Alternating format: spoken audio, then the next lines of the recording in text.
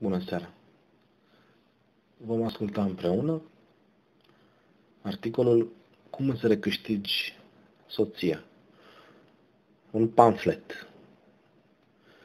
Cum spune soția mea uneori când e supărată. Sigur, asta e toată viața mea. Un pamflet. Bărbații nu sunt bărbați dacă nu au cel puțin o amantă nouă la fiecare șase luni. Deranjantă exprimarea. De ce? Fiindcă pare ruptă dintr-un film ce nu prezintă realitate. Asta ar gândi un om care își schimbă la șase luni amantă. Sau, sau o doamnă ce bănuiește antecedentele soțului. Dar e frică să recunoască. Ce ar gândi o, o necredincioasă? O necredincioasă ar spune așa, la șase luni schimba amanta, așa rar. Unde este adevărul? Adevărul este undeva la mijloc, între exprimarea comercială și gândurile ascunse, pe care le avem toți. Bărbații înșală din motive ce frizează normalul, atât timp cât femeia îi dă chiar și pentru o secundă bărbatului impresia de o nouă posibilitate și împlinire sexuală, atunci el acționează. Există un motiv pentru care un bărbat, 100% heterosexual, nu ar ceda în fața farmecelor feminine? Da, există chiar două motive clare.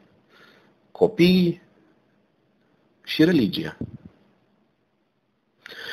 Ca să ajungem înapoi la titlul articolului, vă invit să parcurgem împreună cele șapte motive care stau la baza escapadelor sexuale ale bărbatului. 1.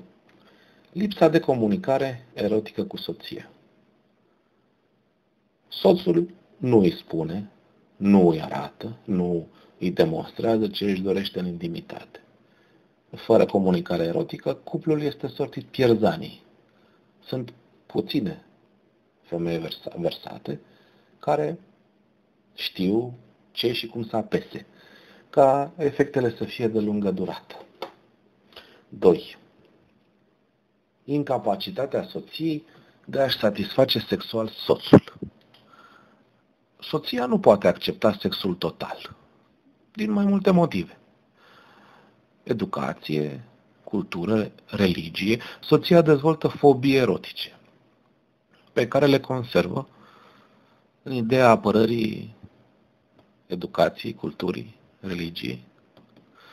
Avem următorul exemplu de gând. De ce soțul meu are nevoie de stimulare orală înaintea actului sexual, când alți bărbați nu au nevoie? Apoi adaugă în minte următoarea expresie. Nu au nevoie de așa ceva. Apariția copiilor în cuplu. Punctul 3. Odată cu apariția copiilor în cadrul cuplului, cuplul se dezvoltă oficial, atingând noțiunea, stadiul de familie. Bărbatul se sperie și aici avem patru cazuri valide.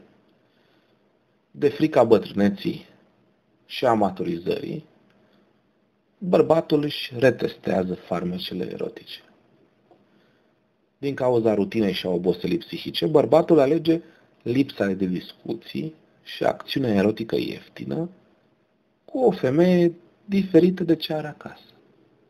Colegele de job sunt cele mai apropiate, delegații apropiere, deplasări apropiere, ore petrecute împreună apropiere, mers la contracte împreună Apropiere. Mm. Discuțiile cu și despre copil. Discuțiile cu și despre copil emancipează femeia.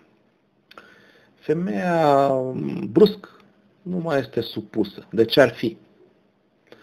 Bărbatul o pedepsește. O pedepsește validându-și sexual prezența în altă parte. Prezența unei alte persoane în casă, care ajută proaspăta mamă, deranjează semnele teritoriului masculin.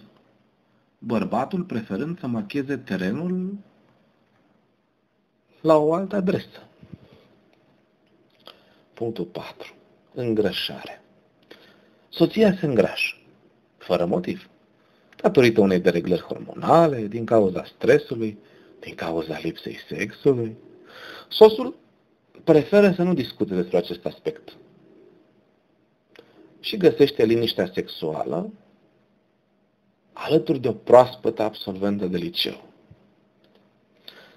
cu majoratul serbat. 5. Împărțirea spațiului personal. Împărțirea spațiului personal și cu alte persoane. Știți cum e la început de căsnicie, când nu ai nimic pus deoparte, casa o împarți cu socrii. Iar acum permiteți-mi să fiu vulgar intelectual. Dacă soacra dacă soacra nu e nici măcar tânără, mă iertați. Eram parșiv și parșiv. Doar că acesta este modelul.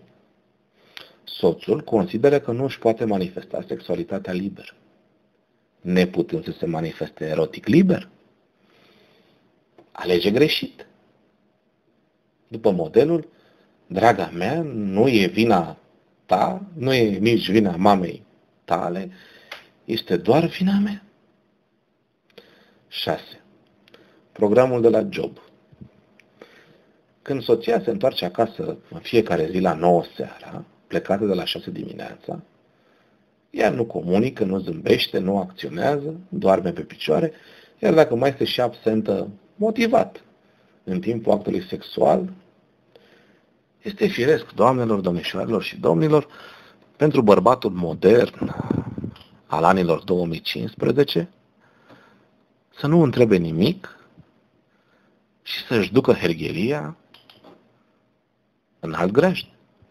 7. Controlul. Unde ești? Cu cine ești? Când ajungi acasă? Cine vorbește lângă tine? De ce te sună colega ta? Cu cine ai fost la fotbal? De ce se uită meditatoarea de engleză la tine? De ce nu mi-ai spus că meditatoarea are 20 de ani? Huh!